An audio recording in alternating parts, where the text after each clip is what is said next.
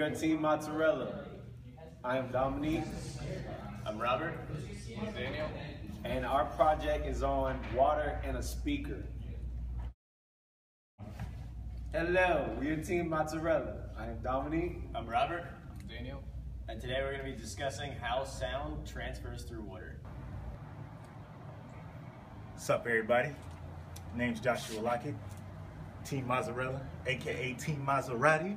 You know, uh, today we're gonna do an experiment on how sound travels through water. Yeah, it's that serious.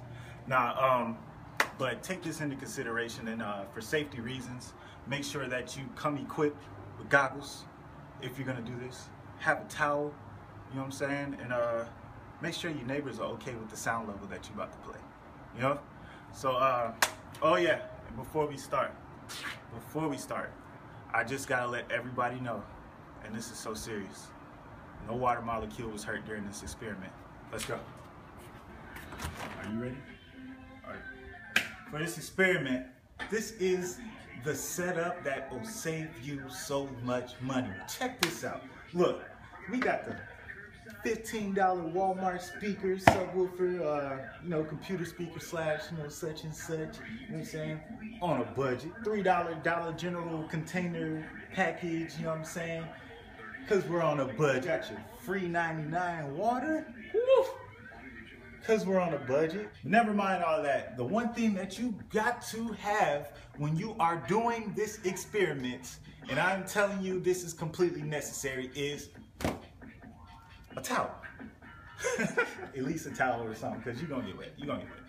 There, you are gonna get wet, especially if your speaker's bigger than this. You are gonna get wet. But uh, all right, stay tuned. We're about to start the experiment.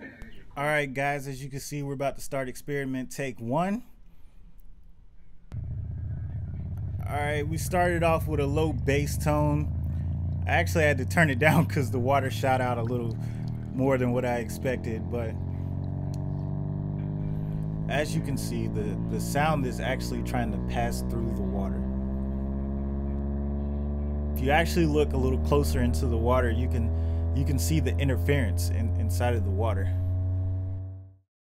Now we're gonna do experiment take two. I decided to put things in slow motion because slow motion is better. All right, guys, I had to put it on the side because the camera was getting wet. But as you can see, it's in slow motion. Uh, this is the low bass tone. I actually turned it down from what I shot in the first video. Now, sound is actually three-dimensional. It's not two-dimensional. Sound travels in all directions.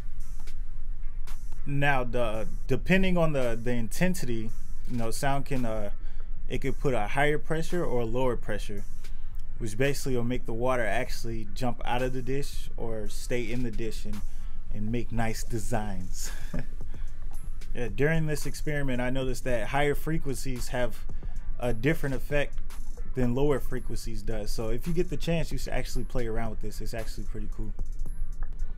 See the, the ripples in the water are actually showing higher pressure and lower pressure of uh, sound waves.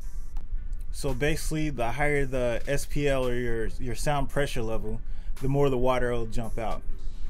See, um, what the water ripples is actually showing us is what our air molecules do when sound is being produced. Yeah, so the, that's basically it. Uh, I can go no further. This is uh, Team Maserati, and this is our physics experiment.